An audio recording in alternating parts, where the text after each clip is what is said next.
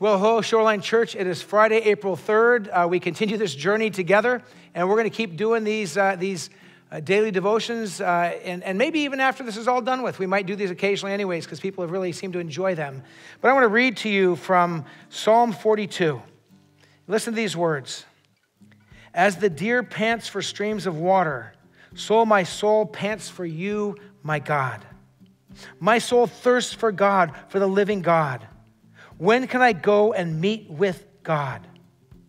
My tears have become my food day and night, while people say to me all day long, Where is your God? These things I remember as I pour out my soul.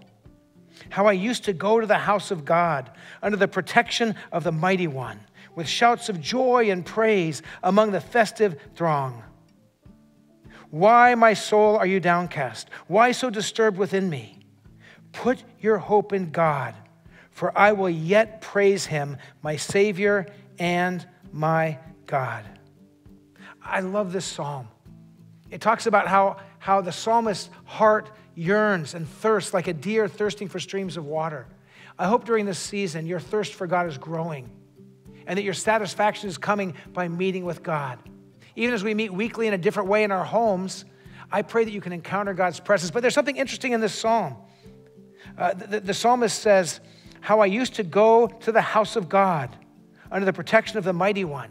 The psalmist is remembering what it felt like to, to come with this group of people who were excited and passionate together to worship Jesus. And I think we're all missing that. I look forward to when we can gather together and really celebrate the goodness of Jesus together among his people. And yet, until then, will keep gathering and worshiping Him like this. I want to pray with you that your soul would long for God and you'd find your satisfaction in Him. God, this is our prayer today that our longing for you would grow. And in our longing and our seeking and our searching, we will find you. And find that, that as we come to you like a deer who drinks cool water from a stream, Lord, that we find satisfaction and peace for our souls during this season. We pray this in Jesus' name. Amen.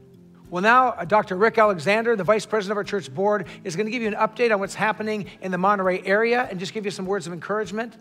And I look forward to seeing you on Sunday online as we worship together from our homes. God bless you. Have a great day. Enjoy listening to Dr. Rick Alexander. Hey, Shoreliners. In this week's video, I thought I would answer some of the most common questions that I've been asked about the COVID 19 virus. One of the first questions is how long are we actually going to be sheltering in place? Um, it certainly seems that two weeks was insufficient and probably sheltering in place will be extended certainly through the end of this month, perhaps uh, into next month as well. Um, most of these recommendations are based on modeling uh, of what the virus has done in um, China uh, it seems that after we start to see cases in any local community, the uh, number of new cases will peak in two to three weeks. Following the peak, there will be a time period of another three to four weeks where we see decreasing cases. Given that scenario, we're certainly going to be sheltering in place till the end of this month and possibly to the end of May. Um, that would be my best estimate, and I think that's what the experts are saying at this time. The second question I get asked is Are we going to be looking like New York City or New Orleans? The answer to that, I believe, is no. Um, the governor has uh, been stating that the sheltering in place is being very effective here in California. We're not seeing the exponential rise in cases that they've seen in, in other locations, particularly urban locations, and we're fairly optimistic that we will see a flattening of the curve here in California. All of that, of course, is based on several assumptions, the most important of which is that we follow the recommendations and guidelines of our health departments. Again, sheltering in place, keeping social distancing, and using good hand uh, washing and, and sanitizing. Talking about that, the other question I get asked is what about masks? Well, we've gone back and forth about whether masks will help prevent or not. what I would like to tell you is based on our evidence in China, masks are very helpful. Now, do they prevent COVID all the time? No, of course not. But they're very helpful at decreasing spread, particularly asymptomatic spread. My recommendation would be that if you can, please wear a mask when you're out at the grocery store or out in public. The other thing that a mask will do is it will help you remember not to touch your face. And this is a very, very common way that the virus is spread.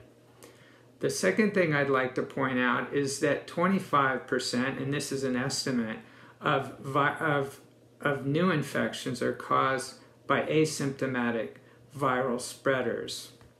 Another question that I've been asked recently is whether hydroxychloroquine and zithromax in combination is effective in treating the COVID-19 virus.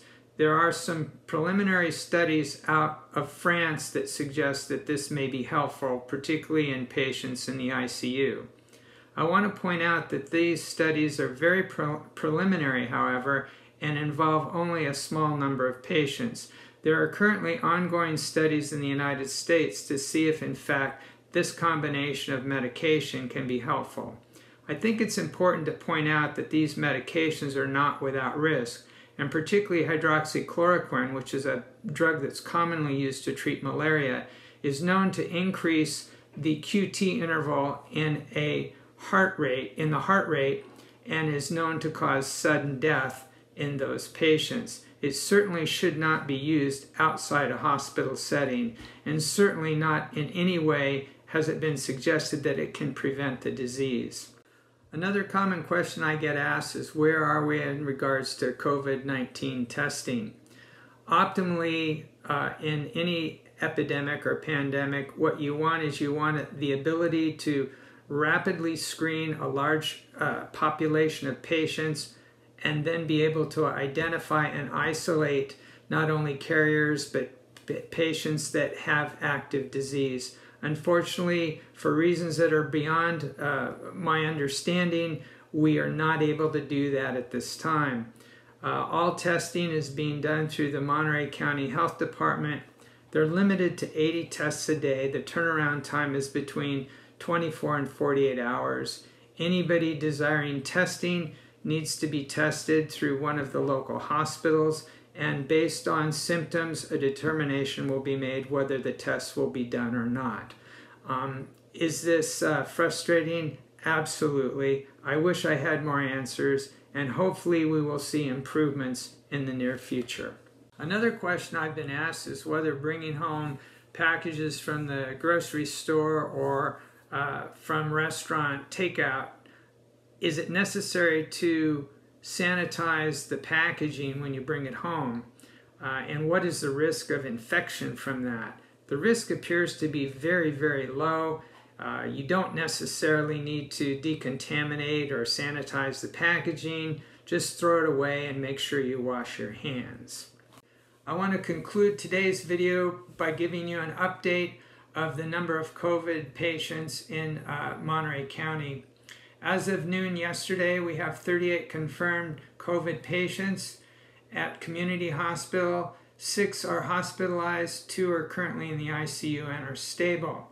Salinas Valley has had hospitalized COVID patients recently. I don't know how many are still remaining in the hospital. Natividad Medical Center currently has no hospitalized COVID patients. I want to emphasize that clearly we're in the early stages of this pandemic in Monterey County. The next two to three weeks are going to be absolutely critical as to the number of new cases and uh, how uh, it affects our community.